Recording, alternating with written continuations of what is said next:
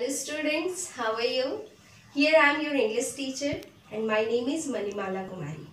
Today I am going to teach you English grammar and my topic is naming words. Naming words means the name of things which we see around us. Before more explanation, let's read this poem.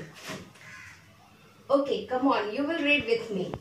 Girl and boy, book and toy, hat and bat, rat and cat, clown in a town, wearing boots and a gown. Come and join this game of noun. Noun.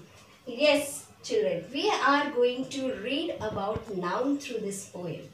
Noun. What are nouns? Nouns are naming words. The definition I have written already written here. Naming words are the names of persons, person, place, animal and thing.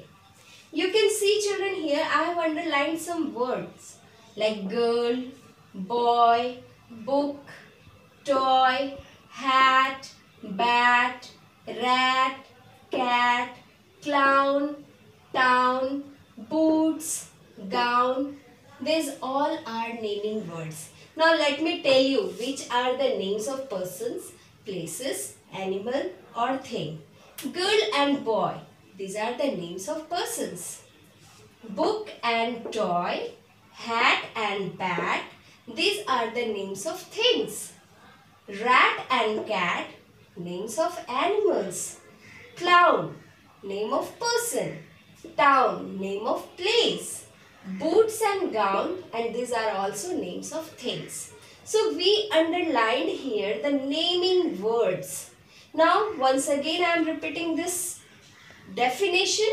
Naming words are the names of person, place, animal and thing. Naming word, the thing which you can now see wherever you are sitting. You can see many things around you. Suppose you are sitting in your drawing room. The things just see around. What type of things you are seeing there? Many type of things like TV is there, table, center table is there, sofa is there. Many things are there. So children, once again I am going to show the pictures to make you clear the name of person, place, animal and thing. See here, name of names of places. See, this is a playground. Playground we go? Yes. Police station, hospital, temple, bank, mosque, market, park, school. These all are the names of places. Names of persons. The persons Children, you every day meet many types of persons in day-to-day -day life who helps you? While you go when you go to school you meet with your peon bhaiya or didi you meet with your friends you meet with your teachers. So these they all are persons.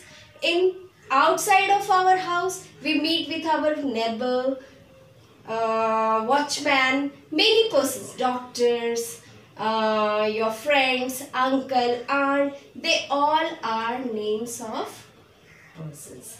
Yes. So now see names of animals. This is also very easy. All types of animals. I think many animals you have see, seen in the zoo. So see some of the animals picture I have pasted here like lion, horse, monkey, crocodile, dog, cow and ox, elephant.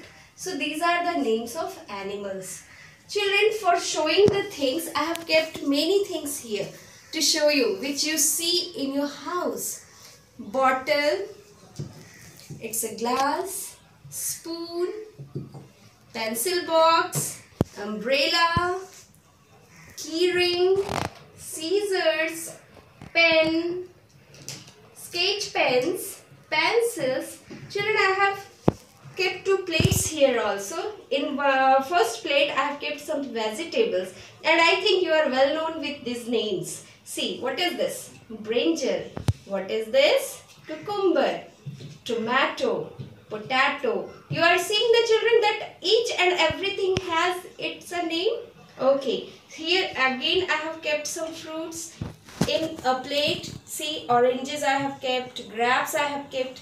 So, I just want to show you the things, whatever we see in our house, outside the house, or wherever.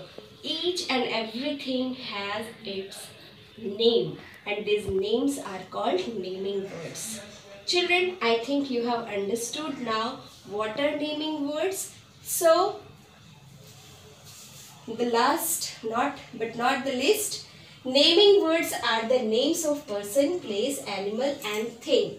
So children, again we will meet in next video with some new topic. I think you have understood whatever I have taught you today. Thank you. Have a nice day.